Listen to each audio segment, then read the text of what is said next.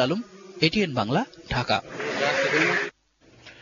মানব সম্পদ, উন্নয়ন ও রাজনৈতিক স্থিতি অটুট রাখার ক্ষেত্রে বাংলাদেশ বিশেষ অগ্রগতি লাভ করেছে বলে মন্তব্য করেছেন প্রধানমন্ত্রীর অর্থনৈতিক উপদেষ্টা doctor A K M Mashiur Rahman. যুক্তরাষ্ট্রের হার্ভার্ড বিশ্ববিদ্যালয়ে বাংলাদেশের উন্নয়ন শীর্ষক দুই দিনের আন্তর্জাতিক সম্মেলনে তিনি এই মন্তব্য করেন।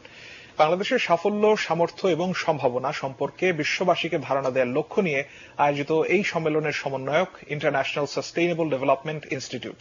মার্কিন পররাষ্ট্র মন্ত্রণালয়, জাতিসংঘ বিশ্ব ব্যাংক এবং যুক্তরাষ্ট্রের বিভিন্ন শিক্ষা প্রতিষ্ঠানের গবেষকরা এতে অংশ নিচ্ছেন। বিনিয়োগ উন্নয়ন কর্তৃপক্ষের নির্বাহী চেয়ারম্যান কাজী আমিনুল ইসলাম উদ্বোধনী অনুষ্ঠানে উপস্থিত ছিলেন। এবারে থাকছে আল আরাফা ইসলামী ব্যাংক